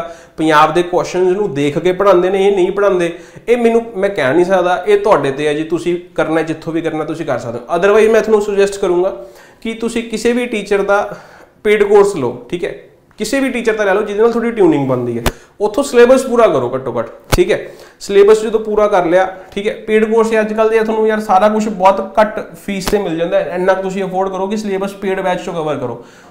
ਰੀਜ਼ਨ ਕੀ ਹੈ ਕਿ YouTube ਤੇ ਤੁਹਾਨੂੰ ਇੱਕ ਕਲਾਸ ਪੰਜ, ਇੱਕ ਇੱਕ ਟੌਪਿਕ ਹੈ, ਉਹ ਪੰਜ ਕਲਾਸਾਂ ਚ ਪੂਰਾ ਹੁੰਦਾ ਉਹਦੇ ਤਿੰਨ ਕਲਾਸਾਂ ਮਿਲ ਗਈਆਂ, ਦੋ ਮਿਲੀਆਂ ਨਹੀਂ। ਉਹਦਾ ਟਾਈਮ ਵੇਸਟ ਜ਼ਿਆਦਾ ਹੁੰਦਾ ਪੇਡ ਬੈਚ ਦੇ ਵਿੱਚ, ਮੈਂ ਨਹੀਂ ਕਹਿ ਰਿਹਾ YouTube ਤੇ ਘੱਟ ਹੈ, YouTube ਤੇ ਜ਼ਿਆਦਾ ਹੈ। ਐਕਸੈਸ ਦੇ ਵਿੱਚ ਇੰਨਾ ਕਿ ਤੁਹਾਨੂੰ ਲੋਡ ਨਹੀਂ ਹੈ। ਪੇਡ ਬੈਚ ਦੇ ਵਿੱਚ ਜਿੰਨਾ ਕੁ ਲੋਡ ਹੈ, ਜਿੰਨੀ ਕਿ ਜਿਵੇਂ ਜਿਵੇਂ ਹੈਗਾ ਪ੍ਰੋਪਰ ਸੀਕੁਐਂਸ ਦੇ ਵਿੱਚ ਸਿਸਟਮੈਟਿਕ ਵੇ ਨਾਲ ਤੁਹਾਨੂੰ ਸਾਰੀਆਂ ਕਲਾਸਾਂ ਦਿੱਤੀਆਂ ਹੁੰਦੀਆਂ ਨੇ। ਬਈ ਬਸ ਤੁਸੀਂ ਅੱਖਾਂ ਬੰਦ ਰੱਖਣੀਆਂ, ਤੁਸੀਂ ਬਾਹਲਾ ਦਿਮਾਗ ਨਹੀਂ ਲਾਣਾ ਵੀ ਕੀ ਕਰਨਾ, ਕੀ ਨਹੀਂ ਕਰਨਾ। ਜਿਵੇਂ ਜਿਵੇਂ ਕਲਾਸ ਦਿੱਤੀ ਹੋਈ ਤੁਸੀਂ ਕਲਾਸ ਫੋਲੋ ਕਰੀ ਚੱਲੋ ਬਸ, ਆਪਣੇ ਨੋਟਸ ਬਣਾਈ ਚੱਲੋ। ਠੀਕ ਹੈ this is all about paid batch ਫਿਰ ਦੂਜਾ ਜਦੋਂ ਤੁਹਾਡਾ ਸਿਲੇਬਸ ਪੂਰਾ ਹੋ ਗਿਆ, ਫਿਰ ਤੀਸਰੀ ਚੀਜ਼ ਹੁੰਦੀ ਹੈ chapter wise practice chapter wise ਨੂੰ ਪ੍ਰੈਕਟਿਸ ਕਰਨਾ ਠੀਕ ਹੈ। ਟੈਂਸ ਪੜ੍ਹ ਲਿਆ ਜੀ, ਤੁਸੀਂ ਨਾਉਨ ਪੜ੍ਹ ਲਿਆ। ਨਾਉਨ ਦੇ ਘੱਟੋ ਘੱਟ 100 150 ਕੁਐਸਚਨ ਲਓ। ਮੰਜ਼ਿਲ ਬੈਚ ਦੇ ਵਿੱਚ ਮੈਂ ਮਾਸਟਰ ਅਸਾਈਨਮੈਂਟ ਦਿੰਦਾ। ਪਹਿਲਾਂ ਤਾਂ ਸਬ ਅਸਾਈਨਮੈਂਟ ਦੇ ਕੇ ਹਰ ਟੌਪਿਕ ਦੇ ਵਿੱਚੋਂ ਮੈਂ ਅਸਾਈਨਮੈਂਟ ਦੇ ਦੇ ਕੇ 100 150 ਕੁਐਸਚਨ 200 ਕੁਐਸਚਨ ਤਾਂ ਵੈਸੇ ਹੀ ਪ੍ਰੈਕਟਿਸ ਕਰਦਾ। ਲਾਸਟ ਤੇ 100 150 ਕੁਐਸਚਨ ਜਾਂ 250 ਕੁਐਸਚਨ ਹੋਰ ਐਕਸਟਰਾ ਦਿੰਦਾ। ਮਾਸਟਰ ਅਸਾਈਨਮੈਂਟ ਕਰ ਲਓ, ਹੋਰ ਕੁਝ ਕਰਨ ਦੀ ਲੋੜ ਨਹੀਂ। ਤਾਂ ਇਹ ਚੈਪਟਰ ਵਾਈਜ਼ ਪ੍ਰੈਕਟਿਸ ਕਰਨੀ ਬਹੁਤ ਜ਼ਰੂਰੀ ਹੈ। ਬਹੁਤ ਸਟੂਡੈਂਟਸ ਥਿਊਰੀ ਕਵਰ ਕਰ ਲੈਂਦੇ, ਲੇਕਿਨ ਚੈਪਟਰ ਵਾਈਜ਼ ਪ੍ਰੈਕਟਿਸ ਨਹੀਂ ਕਰਦੇ, ਠੀਕ ਹੈ? ਤਾਂ ਇਹ ਚੀਜ਼ ਜ਼ਰੂਰੀ ਹੈ ਜੀ। ਉਸ ਤੋਂ ਬਾਅਦ ਬੇਸਿਕਸ ਕਵਰ ਹੋ ਗਏ ਸਿਲੇਬਸ ਕਵਰ ਹੋ ਗਿਆ ਚੈਪਟਰ ਵਾਈਜ਼ ਵੀ ਕਵਰ ਹੋ ਗਿਆ। ਫਿਰ ਉਸ ਤੋਂ ਬਾਅਦ ਮਿਕਸਡ ਪ੍ਰੈਕਟਿਸ ਨਹੀਂ ਕੀਤੀ। ਮਿਕਸਡ ਪ੍ਰੈਕਟਿਸ ਕਿਉਂ ਜ਼ਰੂਰੀ ਹੈ? ਕਿਉਂਕਿ ਪੇਪਰ 'ਚ ਤੁਹਾਨੂੰ ਕੁਐਸਚਨ ਮਿਕਸਡ ਪ੍ਰੈਕਟਿਸ 'ਚ ਆਊਗਾ ਚੈਪਟਰ ਵਾਈਜ਼ ਪ੍ਰੈਕਟਿਸ 'ਚ ਨਹੀਂ ਆਣਾ ਉੱਥੇ ਤੁਹਾਨੂੰ ਦੱਸਣਗੇ ਵੀ ਇਹ ਨਾਉਨ ਇਹਦੇ ਵਿੱਚ ਨਾਉਨ ਦੀ ਗਲਤੀ ਹੈ ਨਾਉਨ ਲੱਭ ਲਓ। ਨਾ। ਉੱਥੇ ਤੁਹਾਨੂੰ ਕਰਾਂਗੇ ਫਾਈਂਡ ਦ ਐਰਰ ਨਾਉਨ 'ਚ ਵੀ ਗਲਤੀ ਹੋ ਸਕਦੀ ਹੈ ਪ੍ਰੋਨਾਊਨ 'ਚ ਵੀ ਹੋ ਸਕਦੀ ਹੈ ਟੈਂਸ ਦੇ ਵਿੱਚ ਵੀ ਹੋ ਸਕਦੀ ਹੈ ਐਡਜੈਕਟਿਵ 'ਚ ਵੀ ਹੋ ਸਕਦੀ ਹੈ ਐਡਵਰਬ 'ਚ ਵੀ ਹੋ ਸਕਦੀ ਹੈ। ਇਸ ਕਰਕੇ ਜਦੋਂ ਚੈਪਟਰ ਵਾਈਜ਼ ਪ੍ਰੈਕਟਿਸ ਕਰ ਲਈ ਲਾਸਟ ਤੇ ਮਿਕਸਡ ਪ੍ਰੈਕਟਿਸ ਕਰੋ। ਘੱਟੋ ਘੱਟ 1000 ਸੈਂਟੈਂਸ ਪ੍ਰੈਕਟਿਸ ਕਰ ਲਓ। ਇਦੋਂ ਬਾਅਦ ਕੀ ਆ ਜਾਊਗਾ ਯਾਰ? ਐ ਸੋਚੋ ਨਾ ਯਾਰ ਵੀ ਮੈਨੇ ਤਾਂ ਇੰਨੀ ਪ੍ਰੈਕਟਿਸ ਕਰ ਲਈ ਦੁਬਾਰਾ ਆ ਕੇ ਦਿਖਾਵੇ। ਗੱਲ ਸਮਝ ਆ ਰਹੀ ਹੈ? ਕਰੰਟ ਅਫੇਅਰਸ ਤੁਸੀਂ 1000 ਕੁਐਸਚਨ ਪੜ੍ਹ ਲਓ, ਫਿਰ ਵੀ ਨਹੀਂ ਪਤਾ 13ਵੀਂ ਗੱਲ ਪੁੱਛ ਲੈ। ਇੰਗਲਿਸ਼ ਦੇ ਵਿੱਚ ਐਵੇਂ ਨਹੀਂ ਹੈ। ਇੰਗਲਿਸ਼ ਦੇ ਵਿੱਚ ਤੁਹਾਨੂੰ ਪਤਾ ਕਿ ਨਾਉਨ ਦੇ ਵਿੱਚੋਂ 100 ਟਾਈਪਸ ਨੇ 100 ਟਾਈਪਸ ਤੋਂ ਬਾਅਦ ਅੱਜ ਤੱਕ ਕੁਝ ਆਇਆ ਨਹੀਂ ਬੀ ਟ੍ਰਿਪਲ ਐਸ ਵਿੱਚ। ਉਹ 100 ਟਾਈਪ ਮੈਂ ਪੁੱਛ ਲਈ ਦੁਬਾਰਾ ਪੁੱਛ ਕੇ ਦਿਖਾਵੇ ਨਹੀਂ ਪੁੱਛੂਗਾ। ਠੀਕ ਹੈ? ਸੋ ਇਹ ਤੁਸੀਂ ਦਾਵਾ ਕਰ ਸਕਦੇ ਹੋ, ਹੋਰ ਕਿਸੇ ਚੀਜ਼ ਤੁਸੀਂ ਦਾਵਾ ਨਹੀਂ ਕਰ ਸਕਦੇ। ਮਤਲਬ ਤੁਸੀਂ, ਮਤਲਬ ਕੰਪੈਰੀਟਿਵਲੀ ਮੈਂ ਕਹਾਂ ਕਰੰਟ ਅਫੇਅਰਸ ਨਹੀਂ ਕਰ ਸਕਦੇ ਤੁਸੀਂ। ਠੀਕ ਹੈ? ਸੋ ਉਸ ਤੋਂ ਬਾਅਦ ਬੇਸਿਕਸ ਹੋ ਗਿਆ ਸਿਲੇਬਸ ਹੋ ਗਿਆ ਚੈਪਟਰ ਵਾਈਜ਼ ਹੋ ਗਿਆ ਮਿਕਸਡ ਹੋ ਗਿਆ, ਫਿਰ ਵੀ ਨਹੀਂ ਕਰ ਪਾ ਰਹੇ। ਫਿਰ ਕਿੱਥੇ ਦਿੱਕਤ ਹੈ? ਫਿਰ ਬੱਚੇ, ਦਿੱਕਤ ਹੈ, ਜਿਸ ਟੀਚਰ ਤੋਂ ਤੁਸੀਂ ਪੜ ਰਹੇ ਹੋ। ਟੀਚਰ ਦਾ ਪੜਾਉਣ ਦਾ ਤਰੀਕਾ ਜਾਂ ਤਾਂ ਟਿਊਨਿੰਗ ਨਹੀਂ ਕੀਤਾ। ਮੈਂ ਨਹੀਂ ਕਹਿ ਰਿਹਾ ਕਿ ਮੇਰਾ ਜਾਂ ਕੋਈ ਹੋਰ, ਮਤਲਬ ਕੋਈ ਹੋਰ ਵੀ ਹੋ ਸਕਦਾ, ਮੈਂ ਵੀ ਹੋ ਸਕਦਾ। ਵੀ ਮੈਂ ਫੰਨੇ ਖਾ ਬਣ ਜਾ, ਮੈਂ ਤੁਹਾਨੂੰ ਕਹਿੰਦਾ ਵੀ ਮੇਰਾ ਕੰਟੈਂਟ ਬਹੁਤ ਸਟਰੋਂਗ ਹੈ, ਲੇਕਿਨ ਆਪਣੀ ਟਿਊਨਿੰਗ ਨਹੀਂ ਬਣੀ, ਫਾਇਦਾ ਕੀ? ਠੀਕ ਹੈ? ਮੈਂ ਤੁਹਾਨੂੰ ਸਮਝਾ ਹੀ ਨਹੀਂ ਪਾਇਆ, ਠੀਕ ਹੈ? ਤਾਂ ਉਹ ਫਾਇਦਾ ਨਹੀਂ ਹੈ, ਕੋਈ ਟਿਊਨਿੰਗ ਨਹੀਂ ਬਣ ਸਕਦੀ। ਤਾਂ ਟੀਚਰ ਜਾਂ ਫਿਰ ਟੀਚਰ ਦਾ ਕੰਟੈਂਟ ਠੀਕ ਹੈ? ਬਹੁਤ ਵਾਰੀ ਕੀ ਹੁੰਦਾ ਯਾਰ, ਮੈਂ ਤੁਹਾਨੂੰ, ਠੀਕ ਹੈ? ਕਿ ਮੈਂ ਤੁਹਾਨੂੰ ਈਜ਼ੀ ਪੜਾਦਾ ਸਪੋਜ਼ ਕਰੋ, ਠੀਕ ਹੈ? ਤੁਹਾਨੂੰ ਕੀ ਲੱਗਦਾ ਮੈਨੂੰ ਈਜ਼ੀ ਪੜਾਉਣਾ ਨਹੀਂ ਹੁੰਦਾ ਬਈ ਮੈਂ ਤੁਹਾਨੂੰ ਜਿੰਨਾ ਈਜ਼ੀ ਮੈਂ ਪੜਾ ਸਕਦਾ ਨਾ, ਮੈਨੂੰ ਇੰਨਾ ਖੁਦ ਤੇ ਭਰੋਸਾ ਹੈ। ਲੇਕਿਨ ਉਹ ਥੋੜੇ ਕੰਮ ਨਹੀਂ ਆਣਾ ਯਾਰ ਫਾਇਦਾ ਕੀ? ਉਹ ਰੈਲੇਵੈਂਟ ਨਹੀਂ ਹੈ ਪੇਪਰ ਥੋੜੀ ਸਮਝ ਨਹੀਂ ਡਿਵੈਲਪ ਹੋਣੀ। ਇੰਗਲਿਸ਼ ਜਿਹੜਾ ਡਰ ਹੈਗਾ, ਉਹ ਡਰ ਉੱਥੇ ਹੀ ਰਹਿ ਜਾਊਗਾ, ਅੱਗੇ ਨਹੀਂ ਵੱਧ ਸਕਦੇ, ਠੀਕ ਹੈ? ਐ ਹੋਊਗਾ ਵੀ ਯਾਰ ਹਾਂ, ਕਰ ਲਾਂਗੇ, ਤੁੱਕਾ ਲੱਗਾ ਠੀਕ ਹੈ? ਲੇਕਿਨ ਜਿਸ ਤਰੀਕੇ ਨਾਲ, ਮੈਂ ਤੁਹਾਨੂੰ ਪੜਾਉਂਗਾ ਉਸ ਤਰੀਕੇ ਨਾਲ ਤੁਸੀਂ ਕਰਕੇ ਫਿਰ ਤੁਸੀਂ ਕਹੋਗੇ, ਠੋਕ ਕੇ ਕਹੋਗੇ ਯਾਰ ਵੀ ਹਾਂ, ਮੈਂ ਤਾਂ ਕਰ ਜਾਊਂਗਾ, ਠੀਕ ਹੈ? ਕੌਨਫੀਡੈਂਸ ਆ ਜਾਊਗਾ ਬੇਸਿਕਲੀ ਸੋ ਜਾਂ ਤਾਂ ਟੀਚਰ 'ਚ ਨਾਲ ਟਿਊਨਿੰਗ ਨਹੀਂ ਬਣੀ ਟੀਚਰ ਚੇਂਜ ਕਰਨ ਦੀ ਲੋੜ ਹੈ, ਜਾਂ ਟੀਚਰ ਦਾ ਕੰਟੈਂਟ ਵੀਕ ਹੈ। ਕੰਟੈਂਟ ਵੀਕ ਦਾ ਮਤਲਬ ਰੈਲੇਵੈਂਟ ਨਹੀਂ ਹੈ। ਹੈਨਾ ਤੁਹਾਨੂੰ ਖੁਸ਼ ਕਰਨ ਵਾਸਤੇ ਹੋ ਸਕਦਾ, ਤੁਹਾਨੂੰ ਪੜਾਤਾ ਹੋਵੇ ਕੁਝ ਨਾ ਕੁਝ ਹੈਨਾ ਤਾਂ ਬਹੁਤ ਬਹੁਤ ਸਾਰੀਆਂ ਚੀਜ਼ਾਂ ਹੁੰਦੀਆਂ ਨੇ ਯਾਰ ਐਵੇਂ, ਠੀਕ ਹੈ? ਮੈਂ ਕਿਸੇ ਨੂੰ ਗਲਤ ਨਹੀਂ ਕਹਿ ਰਿਹਾ, ਲੇਕਿਨ ਜਿਹੜੀ ਚੀਜ਼ ਹੈਗੀ ਹੈ ਤਾਂ ਬਈ ਉਹ ਮੈਂ ਤੁਹਾਨੂੰ ਫੈਕਟ ਦੱਸ ਰਿਹਾ, ਠੀਕ ਹੈ? ਕੋਈ ਵੀ ਹੋ ਸਕਦਾ। ਸਰ ਇਹਨਾਂ ਦੋਵਾਂ ਦੇ ਵਿੱਚ ਦਿੱਕਤ ਹੈ, ਫਿਰ ਤੁਹਾਨੂੰ ਟੀਚਰ ਜਾਂ ਉਹਨਾਂ ਦੇ ਕੰਟੈਂਟ ਚੇਂਜ ਕਰਨ ਦੀ ਅਲਟੀਮੇਟਲੀ ਲੋੜ ਹੈ, ਠੀਕ ਹੈ? ਅੱਗੇ। ਹੁਣ ਮੈਂ ਗੱਲ ਕਰਦਾ ਪ੍ਰੈਕਟਿਸ ਤੇ। ਗ੍ਰਾਮਰ ਪ੍ਰੈਕਟਿਸ ਕਰਨੀ ਹੈ ਬਾਈ, ਠੀਕ ਹੈ? ਪੰਜਾਬ ਦੇ ਲਈ ਐਸਪੀ ਬਖਸ਼ੀ ਕਰੋ, ਠੀਕ ਹੈ? ਤੁਹਾਡੇ ਕੋਲ ਪਲਿੰਤੂ ਪੈਰਾਮਾਉਂਟ ਹੈਗੀ ਆ, ਉਹ ਕਰ ਲਓ, ਨੀਤੂ ਸਿੰਘ ਹੈਗੀ ਉਹ ਕਰ ਲਓ। ਲੇਕਿਨ ਇਹ ਜ਼ਰੂਰ ਕਰੋ, ਠੀਕ ਹੈ? ਪਲਿੰਤੂ ਪੈਰਾਮਾਉਂਟ ਕਰ ਸਕਦੇ ਹੋ ਮਿਰਰ ਆਫ ਕਾਮਨ ਐਰਰਸ ਵੀ ਕਰ ਸਕਦੇ ਹੋ, ਠੀਕ ਹੈ? Mirror of common errors Bihar ਦੇ ਟੀਚਰ ਨੇ ਇੱਕ ਏਕੇ ਸਿੰਘ, ਬਹੁਤ ਅੱਛੇ ਟੀਚਰ ਨੇ ਇੰਗਲਿਸ਼ ਦੇ ਟੀਚਰ ਨੇ, ਠੀਕ ਹੈ? ਉਹਨਾਂ ਤੋਂ ਵੀ ਪੜ੍ਹ ਸਕਦੇ ਹੋ। ਮੈਂ ਵੀ ਉਹਨਾਂ ਤੋਂ ਕਾਫੀ ਕੁਝ ਸਿੱਖਿਆ, ਠੀਕ ਅੱਛੇ ਟੀਚਰ ਨੇ, ਠੀਕ ਹੈ? ਤਾਂ a mirror of common errors ਕਿਤਾਬ ਉਹਨਾਂ ਨੇ ਲਿਖੀ ਹੋਈ ਹੈ ਏਕੇ ਸਿੰਘ ਕਰਕੇ ਨਾਮ ਹੈ। ਠੀਕ ਹੈ? ਇਹ ਕਿਤਾਬ ਪੜ੍ਹ ਸਕਦੇ ਹੋ ਜਾਂ ਫਿਰ ਇਹਦਾ ਸਬਸਟੀਟਿਊਟ ਪਲਿੰਤੂ ਪੈਰਾਮਾਉਂਟ ਪੜ੍ਹ ਸਕਦੇ ਹੋ ਜਾਂ ਨੀਤੂ ਸਿੰਘ ਪੜ੍ਹ ਸਕਦੇ ਹੋ, ਠੀਕ ਹੈ? ਉਹਨਾਂ ਦੀ ਮੈਡਮ ਦੀ ਕਿਤਾਬ ਹੈ ਵੋਲਿਊਮ 1 ਠੀਕ ਹੈ? ਅਗਰ ਤੁਸੀਂ ਇਹ ਸਾਰਾ ਕੁਝ ਨਹੀਂ ਕਰਨਾ, ਫਿਰ ਮੇਰੀਆਂ ਮਾਸਟਰ ਅਸਾਈਨਮੈਂਟਸ ਨੇ ਇਹਦੇ ਵਿੱਚ ਸਾਰਾ ਦਾ ਨਿਚੋੜ ਹੈ, ਠੀਕ ਹੈ? ਇਹ ਕਰ ਲਓ, ਜਿਹੜਾ ਮੈਂ ਤੁਹਾਨੂੰ ਦਿੰਨਾ ਮੰਜ਼ਿਲ ਬੈਚ ਦੇ ਵਿੱਚ, ਠੀਕ ਹੈ? ਇਹ ਕਰ ਲਓਗੇ, ਤੁਹਾਨੂੰ ਕੁਝ ਕਰਨ ਦੀ ਲੋੜ ਨਹੀਂ ਪੈਣੀ, ਠੀਕ ਹੈ? ਸਾਰਾ ਕੁਝ ਵਿੱਚੋਂ ਨਿਕਲਿਓ। ਅੱਗੇ ਆ ਜੋ ਵੋਕੈਬ ਵੋਕੈਬ ਵਾਸਤੇ ਐਸਪੀ ਬਖਸ਼ੀ ਕਰਨੀ ਹੈ ਜੀ ਵੈਰੀ ਇੰਪੋਰਟੈਂਟ ਠੀਕ ਹੈ? ਇਹ ਕਰਨੀ ਬਹੁਤ ਜ਼ਿਆਦਾ ਜ਼ਰੂਰੀ ਹੈ, ਠੀਕ ਹੈ? ਉਦੋਂ ਬਾਅਦ 'ਚ ਜੋ ਪੀਵਾਈ ਬੁੱਕ ਹੈ ਬਈ ਠੀਕ ਹੈ? ਇਹ ਕਰਨੀ ਬਹੁਤ ਜ਼ਿਆਦਾ ਜ਼ਰੂਰੀ ਹੈ। ਕਿਉਂਕਿ ਬਹੁਤ ਸਾਰੇ ਕੁਐਸਚਨ ਅਨਐਕਸਪੈਕਟਿਡ ਵੇਜ਼ ਦੇ ਵਿੱਚ ਰਿਪੀਟ ਹੁੰਦੇ ਨੇ, ਠੀਕ ਹੈ? This is very very important ਕਿ ਜਰੂਰ ਰਿਵਾਈਜ਼ ਕਰੋ। ਮੈਂ ਪੀਵਾਈਕਿਊ ਸੋਲੂਸ਼ਨਸ ਦੇ ਵਿੱਚ 90 ਕਲਾਸਿਸ ਕਰ ਚੁੱਕਿਆ ਜੀ ਹੁਣ ਤੱਕ, ਠੀਕ ਹੈ? ਆ 2021 ਬਾਈ ਵਾਲੇ ਸੋਲੂਸ਼ਨ ਬਣਾਉਣੇ ਪੈਂਡਿੰਗ ਨੇ। ਮੈਂ ਹੋ ਸਕਦਾ 10 12 ਕਲਾਸਿਸ ਇਹਨਾਂ ਤੇ ਲਾਵਾਂ, ਠੀਕ ਹੈ? 15 ਕਲਾਸਿਸ ਲਾਵਾਂ। ਉਹ ਬਹੁਤ ਜ਼ਰੂਰੀ ਹੈ, ਮੈਂ ਬਹੁਤ ਮਿਹਨਤ ਕਰਕੇ ਕਲਾਸਾਂ ਬਣਾਈਆਂ ਟਾਈਮ ਪਾਸ ਨਹੀਂ ਕੀਤਾ। ਇੱਕ ਕਲਾਸ 'ਚ ਮੈਂ 100 ਕੁਐਸਚਨ ਵੀ ਕਰਾ ਸਕਦਾ, ਠੀਕ ਹੈ? ਲੇਕਿਨ ਮੈਂ ਇੱਕ ਕਲਾਸ 'ਚ 10 ਕੁਐਸਚਨ ਹੀ ਕਰਾਏ ਨੇ। ਹਰ ਚੀਜ਼ ਦਾ ਕੰਟੈਕਸਟ ਦੱਸਣ ਦੀ ਕੋਸ਼ਿਸ਼ ਕੀਤੀ ਹੈ। ਰਿਵਾਈਜ਼ ਕਰੋ ਰਿਵਾਈਜ਼ ਕਰੋ। ਕਿਉਂ ਨਹੀਂ ਹੋਊਗੀ ਜੀ, ਠੀਕ ਹੈ? ਫਿਰ ਕੁਝ ਨਾ ਕੁਝ ਮੈਂ ਵੋਕੈਬ ਸ਼ੀਟਸ ਵੀ ਦਊਂਗਾ ਇਸ ਵਾਰ ਮੰਜ਼ਿਲ ਬੈਚ ਦੇ ਵਿੱਚ ਠੀਕ ਹੈ ਉਹ ਲਾਸਟ ਫਿਰ ਰੀਡਿੰਗ ਕੰਪਰੀਹੈਂਸ਼ਨ ਇਹ ਐਸਆਈ ਵਾਸਤੇ ਠੀਕ ਹੈ ਇਹ ਐਸਆਈ ਦੇ ਵਿੱਚ ਆਊਗਾ ਜੀ ਇਹਦੇ ਵਿੱਚ ਨਹੀਂ ਲਿਖਿਆ ਹੋਇਆ ਇਹਨਾਂ ਨੇ ਠੀਕ ਹੈ ਤਾਂ ਐਸਆਈ ਟੀਸੀਐਸ ਲੈਵਲ ਦੇ ਜਿਹੜੇ ਪੇਪਰ ਹੁੰਦੇ ਨੇ ਟੀਸੀਐਸ ਦੇ ਪੇਪਰ ਹੁੰਦੇ ਨੇ ਨਾ ਐਸਆਈ ਹੋਗਾ ਕਨਸਟੇਬਲ ਹੋਗਾ ਇੱਕ ਟੈਸਟ ਆਫ ਇੰਗਲਿਸ਼ ਲੈਂਗੁਏਜ ਕਿਤਾਬ ਆਂਦੀ ਹੈ ਐਮ ਕੇ ਕੁੰਦਨ ਸਮਥਿੰਗ ਉਹਨਾਂ ਦੇ ਰਾਈਟਰ ਨੀਲੇ ਰੰਗ ਦਾ ਪੇਜ ਹੈ Amazon ਤੇ ਸਰਚ ਕਰੋਗੇ ਤੁਹਾਨੂੰ ਦਿਖ ਜੂਗੇ ਠੀਕ ਹੈ ਉੱਥੋਂ ਕਰ ਸਕਦੇ ਹੋ ਅਦਰਵਾਈਜ਼ ਮੈਂ ਅਸਾਈਨਮੈਂਟਸ ਵੀ ਦਊਂਗਾ ਮੇਰੀਆਂ ਅਸਾਈਨਮੈਂਟਸ ਵੀ ਕਰ ਸਕਦੇ ਹੋ। ਠੀਕ ਹੈ ਜੀ, ਮੰਜ਼ਿਲ ਬੈਚ ਦੇ ਵਿੱਚ। ਉਸ ਹੂਸਵਾ ਟ੍ਰਾਂਸਲੇਸ਼ਨ ਇਹ ਟ੍ਰਾਂਸਲੇਸ਼ਨ ਤੁਹਾਡੀ, ਮਤਲਬ ਇਹ ਐਸਆਈ ਵਾਸਤੇ ਦੱਸ ਰਹੇ ਹਾਂ ਵਿੱਚ, ਠੀਕ ਹੈ ਥੋੜਾ ਜਿਹਾ, ਠੀਕ ਹੈ। ਤਾਂ ਇਹ 10th ਕਲਾਸ ਦੀ ਪੰਜਾਬ ਸਕੂਲ ਐਜੂਕੇਸ਼ਨ ਬੋਰਡ ਦੀ ਜਿਹੜੀ ਹੈਗੀ ਹੈ ਇੰਗਲਿਸ਼ ਗ੍ਰਾਮਰ ਦੀ ਕਿਤਾਬ ਆਉਂਦੀ ਹੈ, ਉਹ ਸੋਲਵ ਕਰ ਸਕਦੇ ਹੋ। ਅਦਰਵਾਈਜ਼ ਜਿਹੜੀਆਂ ਮੈਂ ਅਸਾਈਨਮੈਂਟਸ ਹੋਊਗਾ, ਉਹ ਵੀ ਸੋਲਵ ਕਰ ਸਕਦੇ ਹੋ। This is for sub inspector and constable taken by the TCS body ਠੀਕ ਹੈ। ਬਾਕੀ ਪੀ ਟ੍ਰਿਪਲ ਐਸ ਵੀ ਤਾਂ ਇੰਨਾ ਮੋਰ ਦੈਨ ਸਫੀਸ਼ੀਐਂਟ ਹੈ ਜਿੰਨਾ ਮੈਂ ਦੱਸਦਾ। ਠੀਕ ਹੈ ਜੀ। ਹੁਣ ਬਈ ਸੁਜੈਸ਼ਨਸ ਕੀ ਨੇ? Work on your basics language ਨੂੰ ਲੈਂਗੁਏਜ ਦੇ ਤਰੀਕੇ ਨਾਲ ਸਿੱਖਣ ਦੀ ਕੋਸ਼ਿਸ਼ ਕਰੋ। ਵੀ ਆ ਚੀਜ਼ ਆਈ ਤੇ ਇਹ ਚੀਜ਼ ਕਿਉਂ ਆਈ? ਦੂਸਰੀ ਚੀਜ਼ ਕਿਉਂ ਨਹੀਂ ਆਈ? ਤਾਂ ਮੈਥਡ ਆਫ ਐਲੀਮੀਨੇਸ਼ਨ ਜਦੋਂ ਤੁਸੀਂ ਇੰਗਲਿਸ਼ ਲੈਂਗੁਏਜ ਯੂਜ਼ ਕਰਨਾ ਸ਼ੁਰੂ ਕਰਤਾ, ਤੁਹਾਡੇ ਲੈਂਗੁਏਜ ਸਕਿੱਲਸ ਵਧੀਆ ਹੋਣੇ ਸ਼ੁਰੂ ਹੋ ਜਾਣਗੇ। ਫੀਲਿੰਗ ਨਾਲ ਕਰੋਗੇ ਤਾਂ ਲੈਂਗੁਏਜ ਸਕਿੱਲਸ ਕਦੇ ਵੀ ਵਧੀਆ ਨਹੀਂ ਹੋ ਸਕਦੇ, ਉਹ ਤੁੱਕੇ ਸਾਰੀ ਜ਼ਿੰਦਗੀ ਤੁੱਕੇ ਰਹਿਣਗੇ, ਠੀਕ ਹੈ? ਡੋਂਟ ਕ੍ਰੈਮ ਐਰਰਸ ਔਰ ਰੂਲਸ ਠੀਕ ਹੈ? ਐਰਰਸ ਤੇ ਰੂਲਸ ਕ੍ਰੈਮ ਕਰਨਾ ਅਵੋਇਡ ਕਰੋ ਜੀ, ਠੀਕ ਹੈ? ਸਮਝ ਕੇ ਆਨਸਰ ਕਰਨ ਦੀ ਕੋਸ਼ਿਸ਼ ਕਰੋ। ਐਲੀਮੀਨੇਸ਼ਨ ਮੈਥਡ ਜਦੋਂ ਕਰੋਗੇ, ਫਿਰ ਰੂਲਸ ਕੰਮ ਹੀ ਨਹੀਂ ਆਉਣਗੇ, ਠੀਕ ਹੈ? ਰਿਵਾਈਜ਼ ਪੀਵਾਈਕਿਊ ਵੋਕੈਬ ਜਿਹੜੀ ਮੈਂ ਤੁਹਾਨੂੰ ਦੱਸਿਆ ਵੋਕੈਬ ਦਾ ਮਤਲਬ ਜਿਹੜੀਆਂ ਮੈਂ ਕਲਾਸਾਂ ਕਰਾਈਆਂ ਹੋਈਆਂ ਨੇ, ਠੀਕ ਹੈ? ਪਿਛਲੇ ਸਾਲ ਬਈ ਮੈਂ ਸਾਰਾ ਬੈਚ YouTube ਤੇ ਫ੍ਰੀ ਕਰਾਇਆ, ਠੀਕ ਹੈ? 90 ਕਲਾਸਾਂ ਮੈਂ YouTube ਤੇ ਪੂਰੇ ਸਾਲ 'ਚ ਫ੍ਰੀ ਕਰਾਈਆਂ ਨੇ, ਠੀਕ ਹੈ? ਇੱਕ ਵੀ ਚਾਰਜ ਨਹੀਂ ਤਾਂ ਹੁਣ PYQ 4 ਵਾਲੇ ਸੋਲੂਸ਼ਨ ਦੇ ਬੈਚ ਦੇ ਵਿੱਚ ਤੁਹਾਨੂੰ ਮਿਲ ਰਿਹਾ ਸਾਰਾ ਕੁਝ ਠੀਕ ਹੈ? ਜਾਂ ਫਿਰ ਇੰਗਲਿਸ਼ ਦਾ ਜਿਹੜਾ ਵਨ ਸਟਾਪ ਸੋਲੂਸ਼ਨ ਮੇਰੇ ਵੱਲੋਂ ਤਾਂ ਬਈ ਆਹੀ ਹੈ ਠੀਕ ਹੈ ਇਹ 'ਚ ਮੈਂ ਤੁਹਾਨੂੰ ਸਾਰੀ ਗ੍ਰਾਮਰ ਵੀ ਕਰਾ ਰਿਹਾ ਠੀਕ ਹੈ ਐਂਡ ਜਿਹੜੀ ਵੋਕੈਬ ਹੈ PYQ4 ਤੋਂ ਇਲਾਵਾ ਵੀ ਬਹੁਤ ਸਾਰੀ ਵੋਕੈਬ ਅਸੀਂ ਕਵਰ ਕਰ ਦਾਂਗੇ ਲਾਈਵ ਕਲਾਸਿਸ ਦੇ ਵਿੱਚ ਐਂਡ ਉਸ ਤੋਂ ਬਾਅਦ ਚ PYQ4 ਇੰਗਲਿਸ਼ ਸੋਲੂਸ਼ਨਸ ਦੱਸਦਾ ਤੁਹਾਨੂੰ ਸਾਰੀ ਵੋਕੈਬ ਇਹ ਚ ਵਨ ਵਰਡ ਸਬਸਟੀਟਿਊਸ਼ਨ ਵੀ ਨੇ ਇਡੀਅਮ ਫਰੇਜ਼ ਵੀ ਨੇ ਠੀਕ ਹੈ ਐਂਡ ਸਿਨੋਨੀਮ ਐਂਟੋਨੀਮਸ ਵੀ ਨੇ ਉਸ ਤੋਂ ਬਾਅਦ ਟ੍ਰਾਂਸਲੇਸ਼ਨ ਹੋ ਗਈ ਆ ਚੀਜ਼ ਹੋ ਗਈ ਪੀਕੇ ਔਰ ਐਸ ਵਗੈਰਾ ਹੋ ਗਿਆ ਸਾਰਾ ਕੁਝ ਹੋ ਗਿਆ ਠੀਕ ਹੈ ਬੈਚ ਵੈਸੇ ਇਹ ਮਤਲਬ ਲਾਈਵ ਬੈਚ ਚੱਲ ਰਿਹਾ ਜੀ। ਲਾਈਵ ਬੈਚ ਸ਼ਾਮ ਨੂੰ 7 ਤੋਂ 8 ਵਜੇ 7 ਤੋਂ ਜਾਂ 8:30 ਵਜੇ ਕਲਾਸ ਹੁੰਦੀ ਹੈ। ਹਜੇ 30 35 ਕਲਾਸਿਸ ਹੋ ਚੁੱਕੀਆਂ ਨੇ। ਤੇ ਇਹ ਬੈਚ ਮੈਂ ਜਲਦੀ ਤੋਂ ਜਲਦੀ 70 80 ਕਲਾਸਾਂ ਦੇ ਵਿੱਚ ਖਤਮ ਕਰ ਦੂੰਗਾ ਠੀਕ ਹੈ? ਐ ਨਹੀਂ ਕੁਝ ਛੱਡੂੰਗਾ, ਲੇਕਿਨ ਟੂ ਦਾ ਪੁਆਇੰਟ ਰੈਲੇਵੈਂਟ ਪੜਾਉਂਗਾ ਬਹੁਤ ਜ਼ਿਆਦਾ ਲੰਬਾ ਨਹੀਂ ਕੁਝ ਖਿੱਚਾਂਗੇ, ਠੀਕ ਹੈ? ਤਾਂ ਮੇਰੀ ਇਹ ਪੂਰੀ ਕੋਸ਼ਿਸ਼ ਹੈ ਜੀ। ਤੇ ਜ਼ੀਰੋ ਲੈਵਲ ਤੋਂ ਹੈ ਪੰਜਾਬੀ ਦੇ ਵਿੱਚ ਪੜ੍ਹਾ ਰਹੇ ਹਾਂ ਜੀ, ਠੀਕ ਹੈ? ਕਲਾਸ ਰਿਕਾਰਡਿੰਗਸ ਅਵੇਲੇਬਲ ਨੇ। ਉਦੋਂ ਬਾਅਦ ਚ ਲੌਜੀਕਲ ਅੰਡਰਸਟੈਂਡਿੰਗ ਹੈ। ਮੈਂ ਤੁਹਾਡੀ ਅੰਡਰਸਟੈਂਡਿੰਗ ਬਿਲਡ ਕਰਦਾ, ਤੁਹਾਨੂੰ ਪਹਿਲਾਂ ਮੌਕਾ ਦੇਣਾ, ਤੂੰ ਤੂੰ ਸੋਚ, ਤੂੰ ਕੀ ਸੋਚਦਾ ਇਸ ਸੈਂਟੈਂਸ ਬਾਰੇ, ਫਿਰ ਮੈਂ ਤੁਹਾਨੂੰ ਦੱਸੂਗਾ, ਐਵੇਂ ਨਹੀਂ, ਐਵੇਂ ਸੋਚ, ਠੀਕ ਹੈ? ਬਸ ਇਹੀ ਇੱਕ ਫ਼ਰਕ ਹੈ ਜਿਸ ਤਰੀਕੇ ਨਾਲ ਮੈਂ ਪੜਾਉਣਾ ਤਾਂ ਮੈਂ ਤੁਹਾਨੂੰ ਬਾਰ-ਬਾਰ ਦੱਸ ਰਿਹਾ, ਮੈਂ 70 80 ਕਲਾਸਾਂ 'ਚ ਕੋਸ਼ਿਸ਼ ਰਹੂਗੀ ਵੀ ਮੇਰਾ ਇਹ ਬੈਚ ਪੂਰਾ ਖਤਮ ਹੋ ਜਾਵੇ ਠੀਕ ਹੈ ਜੀ? ਲਗਭਗ 30 35 ਕਲਾਸਾਂ ਜਿਹੜੀਆਂ ਹੈਗੀਆਂ ਹੋ ਚੁੱਕੀਆਂ ਨੇ।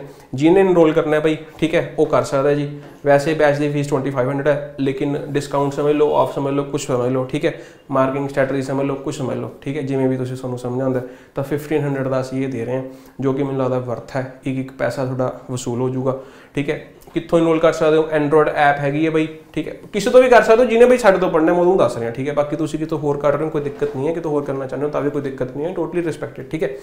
ਤੇ ਸਾਡੇ ਤੋਂ ਪੜਨਾ ਵੀ ਦੱਸ ਰਿਹਾ ਵੀ ਐਂਡਰੋਇਡ ਐਪ ਹੈ। ਐਪ ਪਲੇ ਸਟੋਰ ਤੇ ਜਾ ਕੇ ਇੰਸਟਾਲ ਕਰ ਲਓ ਇਲੈਕਟ੍ਰਿਕ ਇੰਗਲਿਸ਼ ਉੱਥੇ ਜਾ ਕੇ ਮੰਜ਼ਿਲ ਟੂ ਇਨਰੋਲ ਕਰ ਲਓ। ਜਾਂ ਫਿਰ ਵੈਬਸਾਈਟ ਅਗਰ ਤੁਹਾਡੇ ਕੋਲ ਆਈਫੋਨ ਹੈ ਜਾਂ ਤੁਸੀਂ ਲੈਪਟਾਪ ਤੇ ਚਲਾਣਾ ਹੈ, ਫਿਰ ਐਪ ਉਪ ਕੁਝ ਨਹੀਂ ਹੈ ਵੈਬਸਾਈਟ ਹੈ। ਵੈਬਸਾਈਟ ਕੀ ਹੈ? www.electricenglish.in ਉੱਥੇ ਜਾ ਕੇ ਲੌਗਇਨ ਕਰੋ ਆਪਣਾ ਸਾਈਨ ਅਪ ਸਾਈਨ ਅਪ ਕਰਕੇ ਲੌਗਇਨ ਕਰ ਲਓ, ਮੰਜ਼ਿਲ ਟੂ ਇਨਰੋਲ ਕਰ ਲਓ। ਠੀਕ ਹੈ? ਤੇ WhatsApp ਤੇ ਮੈਸੇਜ ਕਰ ਦਿਓ ਉਦੋਂ ਬਾਅਦ, ਫਿਰ ਅਸੀਂ ਤੁਹਾਨੂੰ ਗਰੁੱਪ ਦੇ ਵਿੱਚ, Telegram ਗਰੁੱਪ ਦੇ ਵਿੱਚ ਐਡ ਕਰਾਂਗੇ। ਠੀਕ ਹੈ, ਜੋ ਤੁਹਾਨੂੰ ਯਾਰ ਆ ਸਰਵਿਸ ਦੇ ਰਹੇ ਨਾ ਯਾਰ ਅਸੀਂ, ਠੀਕ ਹੈ, ਇਹਦਾ ਕੋਈ ਮੁੱਲ ਨਹੀਂ ਹੈ, ਠੀਕ ਹੈ, ਜਿਹੜੇ ਸਟੂਡੈਂਟਸ ਨੂੰ ਮਿਲ ਰਹੇ ਨੇ ਉਹਨਾਂ ਨੂੰ ਪੁੱਛ ਕੇ ਦੇਖੋ, ਠੀਕ ਹੈ ਜੀ? ਸੋ ਫਿਲਹਾਲ ਇਸ ਵੀਡੀਓ ਚ ਇੰਨਾ ਹੀ ਸੀ, ਅੱਜ ਮੈਂ ਵੀਡੀਓ ਤਾਂ ਬਣਾਈ, ਮੈਂ ਤੁਹਾਨੂੰ ਦੁਬਾਰਾ ਦੱਸ ਰਿਹਾ, ਕਿਉਂਕਿ ਹਜੇ ਤੁਹਾਡੇ ਕੋਲ ਟਾਈਮ ਹੈਗਾ, ਹਜੇ ਤੁਸੀਂ ਇਹ ਚੀਜ਼ਾਂ ਕਰ ਸਕਦੇ ਹੋ, ਜਦੋਂ ਮਹੀਨਾ, ਸਵਾ ਮਹੀਨਾ, ਡੇਢ ਮਹੀਨਾ ਰਹਿ ਗਿਆ, ਫਿਰ ਇਹ ਚੀਜ਼ਾਂ ਨਹੀਂ ਹੋ ਪਾਣਗੀਆਂ, ਤੁਸੀਂ ਕਹੋਗੇ ਸਿਲੈਕਟਡ ਟੌਪਿਕਸ ਪੜ੍ਹਨੇ ਨੇ ਆ ਪੜ੍ਹਨੇ ਨੇ, ਉਹ ਪੜ੍ਹਨੇ ਨੇ ਟਾਈਮ ਪਾਸ ਕਰਨ ਵਾਲਾ ਕੰਮ ਨਹੀਂ ਹੋਣਾ, ਉਹਦੇ ਨਾਲ ਗੱਲ ਨਹੀਂ ਬਣਨੀ, ਦਿੱਕਤ ਆਣਗੀਆਂ ਹੁਣ ਤੁਹਾਡੇ ਕੋਲ ਵਧੀਆ ਟਾਈਮ ਹੈਗਾ ਜ਼ੀਰੋ ਲੈਵਲ ਤੋਂ ਲੈ ਕੇ ਉੱਥੇ ਲੈਵਲ ਤੱਕ ਤੁਸੀਂ ਵਧੀਆ ਤਰੀਕੇ ਨਾਲ ਕਰ ਸਕਦੇ ਹੋ। Thank you